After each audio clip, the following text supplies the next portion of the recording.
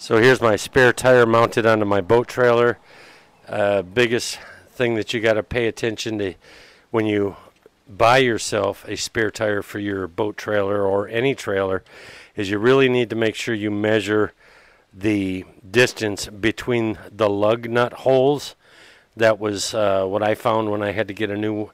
tire or a new wheel fully mounted for my boat trailer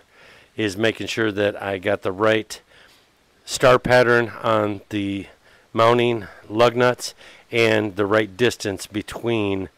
the lug nut holes. Um, once it came in the mail, I pulled off one of the wheels from my boat trailer and I went ahead and made sure this thing mounted up nice and straight and square and it did so I was happy with that then I went ahead and I got a